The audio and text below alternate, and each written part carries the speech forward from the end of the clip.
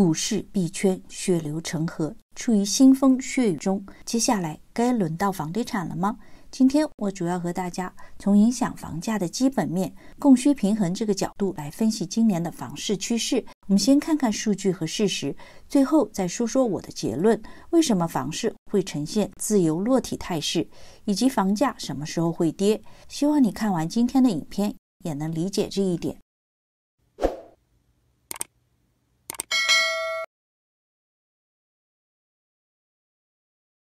大家好，我是墨镜姐伊丽莎，欢迎来到我的频道。我唱空房市有段时间了，喜欢的话请记得点赞支持。我知道不少观众支持我的想法，当然也有很多观众反对，其实这都很正常。就像股市一样，有看多的就有看空的。我从去年就在说通胀、滞胀、经济衰退，那时候我这种非主流的观点并不受欢迎。但是如果你相信了，你今年就不会在股市币圈遭遇大劫。我不是说自己有多牛，能预测市场，我把自己定义为理性的悲观主义者。怎么说呢？我从小就喜欢把事情最坏的情形想到，但那不意味着我每天就自怨自艾。只是当我想到事情最坏的结果是什么，总会事先做一些防范措施，即使最坏的情形真的发生了，也不会失望的想跳楼。所以有人说，悲观主义的人生存能力最强。虽然这种心态对于投资赚大钱多少有点阻碍，但是不管房市也好，股市也好，最后决定输赢的不是经济学理论，而是人性：是贪婪还是知足？是恐慌还是淡定？是理性悲观还是盲目乐观？不知道有多少朋友会认同我的这种想法呢？我们先从美联储的快速加息对房市造成的影响说起，接下来会带大家挖挖各方面数据，包括建商、新房开工、各地房屋库存等等，大家可以根据这些数据和事实做出自己的理性判断。也希望大家可以在留言区分享你们的想法。美联储六月十五日宣布一次性加息零点七五个百分点，这是二十二年来首次最大加息。美联储主席鲍威尔鲍大爷十七日更是重申，承诺将无条件全力以赴恢复物价稳定，也就是继续加息和收紧政策，以解决经济最重要问题。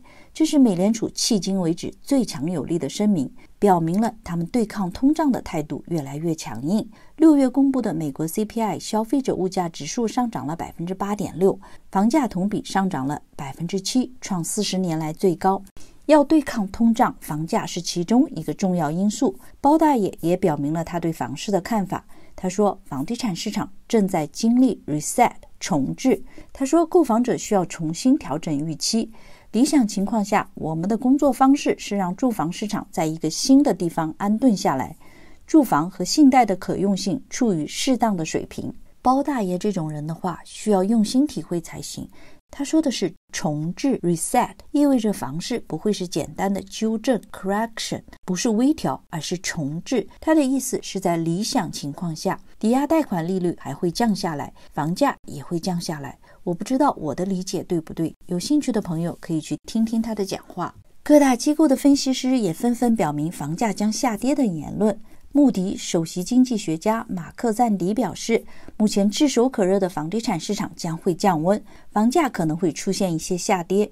高盛策略师表示，抵押贷款利率的进一步上涨只会加大房地产市场的下行风险，这可能对经济的其他领域产生重大影响。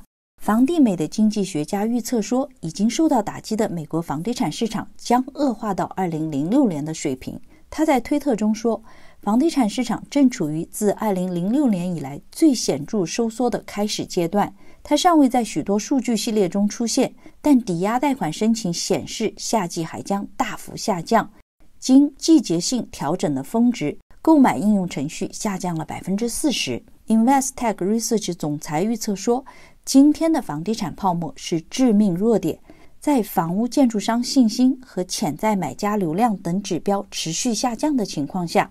可能会给美国经济带来一枚鱼雷。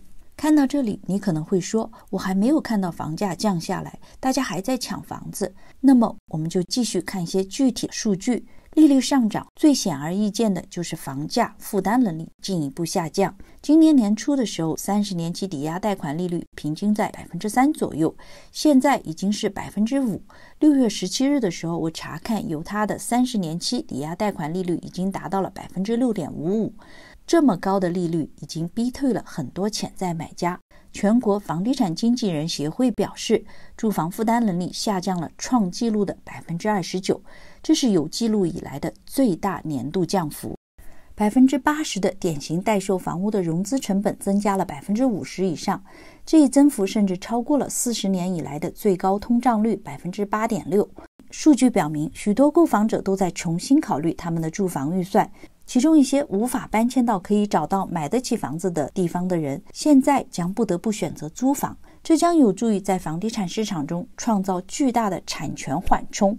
房屋负担能力下降，还可以从以下几个方面看到。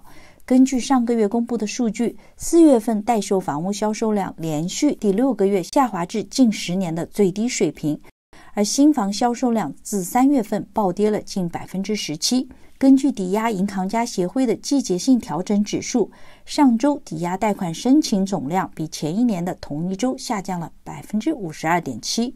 急剧上升的利率正在减少再融资量，而这些利率加上高昂的房价和待售房屋的短缺，正在打击潜在买家的需求。另一项调查反映了悲观的买家情绪，约百分之八十的受访者表示，现在不是买房的最佳时机。房屋负担能力减少。意味着更少的需求，这就会转化为较低的房价。更高的利率将导致两件事：房价会下跌，或者房价继续上升，但不会像在低利率环境中升得那么快。关键是，到底哪一个会是最终的答案呢？目前市场上普遍都认为利率升高，房市会放缓，但是到底能跌到什么程度呢？让我们更深入的看一看。根据 Redfin 的数据，今年四月房价比去年同期上涨了百分之十五，房价中位数为四十二万四，中西部新房中位价为二十八万二，过去一年上涨了百分之八点七。南部是三十五万二，上涨了百分之二十二点七，东北部是四十一万两千，上涨了百分之八点一，西部是五十二万三，上涨了百分之四点三。今年四月房屋销售同比比去年下降了百分之十二，价格十万到二十五万的房子销售数量已经下降了百分之二十九，房价在五十万到七十五万之间的销售上升了百分之十五，超过一百万的房子销售增加了百分之十六。这意味着低于二十五万的房子库存不足，但是建商并不愿意建这些价位的房子，因为利润不高。在我进一步深入下去前，你可能已经意识到房价是不是会跌是一个太广泛的问题。正如你看到的，这可能取决于你所在的地区、你所在的城市和什么样类型的房子。房价什么时候会跌下来？当人们对房子的需求得到满足时，房价就会下跌。这不需要高深理论，基本就是个常识。但是我无法给大家提供一个具体时间，没有人能知道。但当房价停止上涨或开始下跌时，你必须要等到供需达到平衡的那个点。那么，供需平衡还要多久才能达到呢？我们可以进一步深挖下去。根据 Redfin 的数据，德州奥斯汀和田纳西州纳什维尔的都会区降价的新房比一年前翻了两番。从五月九日到六月五日，凤凰城房屋降价三倍，在凤凰城大都会区。百分之二十二的上市新房降价，高于去年同期的百分之七。佛罗里达 Temple 降了两倍，在 Temple 这一比例比一年前的百分之九跃升至百分之二十一。Potty Group 网站显示，亚利桑那州有一百四十六套已完工的房屋，其中大部分都在降价。通常来说，打折是房地产行业会尽量避免的一种策略，就像街道同一侧两个加油站降低价格一样，它可能导致建商的新房在这个社区呈螺旋式下降，从而威胁他们的利润。它还可能激怒已经以更高价格签订合同的客户。这种不得已的行为很明显意味着，因为购买力下降，需求正在减少，供应会继续上升。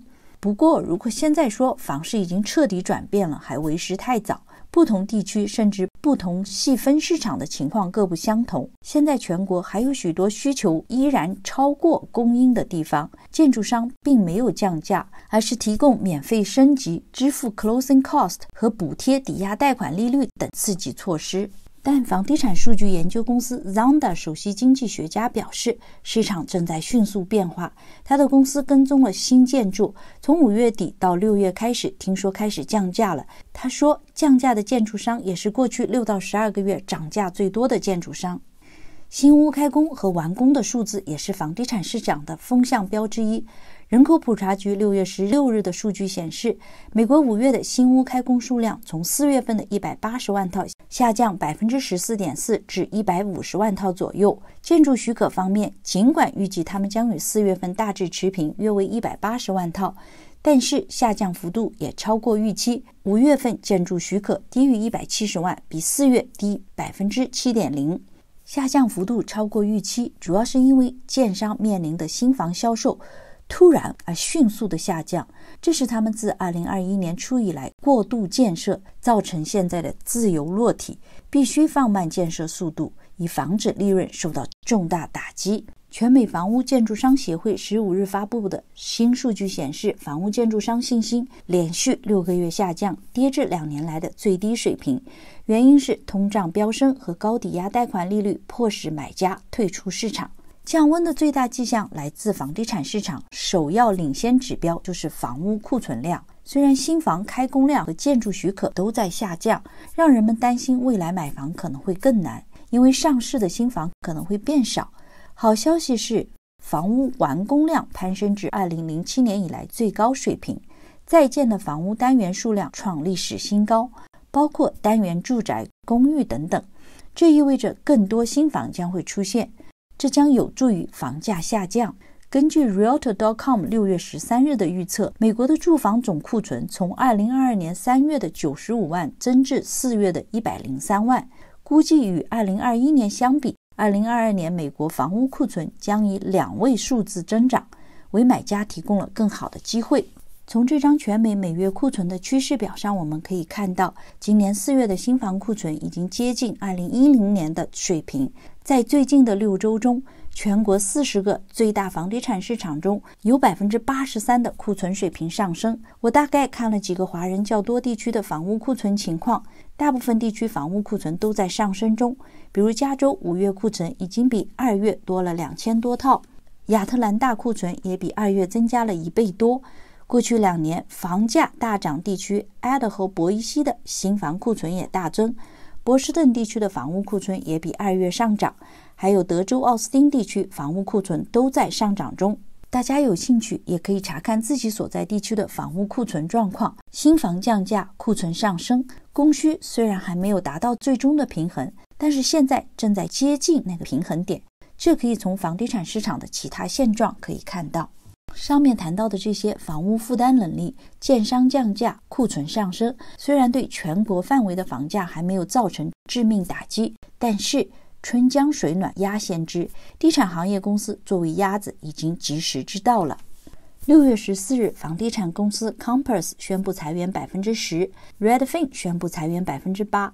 Compass 发言人说：“由于经济增长放缓的明显信号，我们采取了许多措施来保护我们的业务，并降低成本，包括暂停扩张努力以及将员工团队规模缩减约百分之十的艰难决定。” Redfin 的首席执行官说：“由于五月份的需求比预期低百分之十七，我们的代理商和支持人员没有足够的工作量，而且销售额减少使我们用于总部项目的资金减少。”凯尔曼接着说：“随着抵押贷款利率的增长速度比历史上任何时候都快，我们可能会面临数年而不是数月的房屋销售减少。”看了这么多房地产行业变化的数据之后，大家有什么想法？觉得房子会很快跌下来吗？市场上也的确存在另外一种声音，认为房市只会放缓，不可能大跌。